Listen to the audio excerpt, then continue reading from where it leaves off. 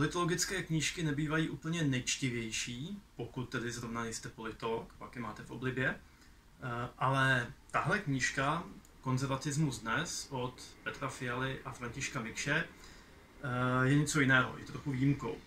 Eh, ostatně ona je o konzervatismu a konzervatismus je politický směr, který je ze své podstaty praktický. Nabízí praktické, konkrétní odpovědi na konkrétní otázky, problémy, se kterými se potýkáme, zvláště my konzervativci.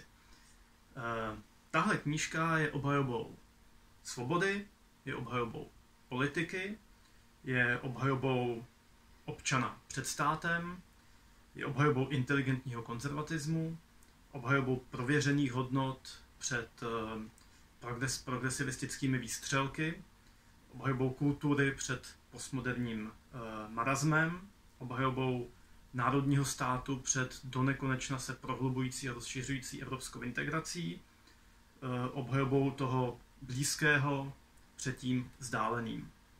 Je knížkou, která konzervatismu vrací jeho inteligentní obsah, tváří v tvář eh, často zjednodušujícímu eh, až hulváckému pseudokonzervatismu.